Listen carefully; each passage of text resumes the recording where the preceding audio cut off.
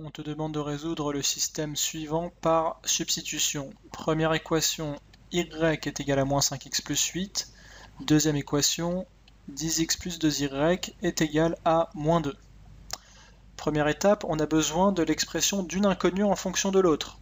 Alors ça tombe bien, c'est déjà le cas ici. On a y en fonction de x. Et cette expression d'y, qui est égale à moins 5x plus 8, on peut l'utiliser en l'injectant dans la deuxième équation. Et du coup, on fera disparaître y et on aura une équation qui ne fera apparaître que l'inconnu x. Écrivons cette équation 10x plus 2y, mais au lieu d'écrire y, je vais écrire moins 5x plus 8, car la première équation me dit que y est égal à moins 5x plus 8. Le tout est égal à moins 2. La deuxième étape consiste à développer cette expression 10x plus 2 fois moins 5x, 2 fois moins 5x font moins 10x.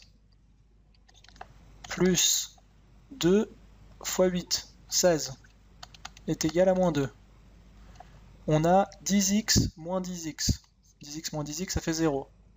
Plus 16 est égal à moins 2, donc on a 16 égale moins 2. C'est faux, bien sûr, 16 n'est jamais égal à moins 2, c'est n'importe quoi.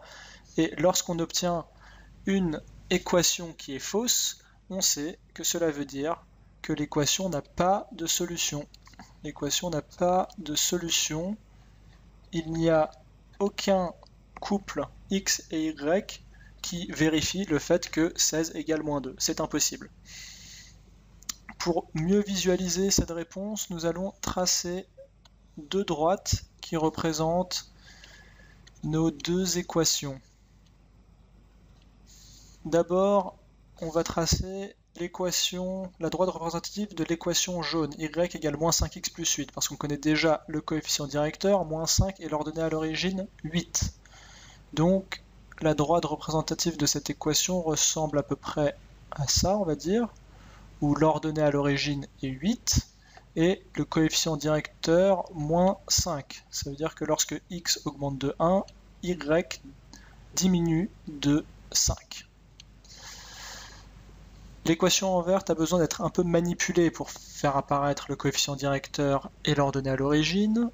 Alors d'abord on remarque qu'on peut diviser toute l'équation par 2, sans problème. On aurait 5x plus y est égal à moins 1. 5x plus y est égal à moins 1.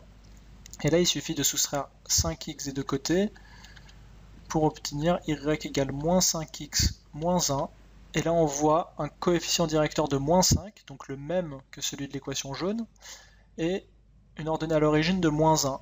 Donc, si moins 1 se situe ici, la droite ressemble à ceci. donc là, ça passe par moins 1. Le coefficient directeur est de moins 5, comme pour l'autre droite, et donc on a deux droites parallèles, elles n'ont pas de point d'intersection, et pas de point d'intersection veut dire pas de solution à ce système d'équations.